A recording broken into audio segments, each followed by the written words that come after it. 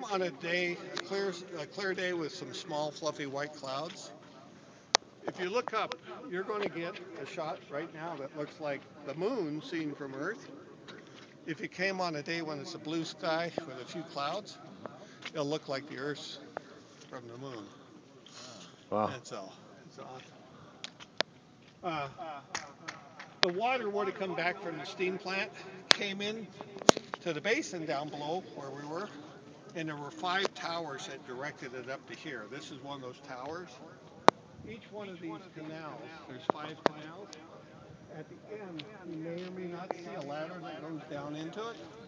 I urge you not to go into them Okay. because there's a 40 foot drop. All right.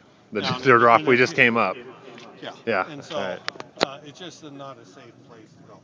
But up here on this level, It's okay. it's okay. Okay. Yeah, Yeah, this is perfect. Like we're at 40 feet right now. It sounds like we're on the first level. Yeah. yeah. And This this is is amazing. called the operating. In this, in a normal operating steam plant, doesn't have to be nuclear, any steam plant. This would be like 120 degree sauna. Oh man. Yeah.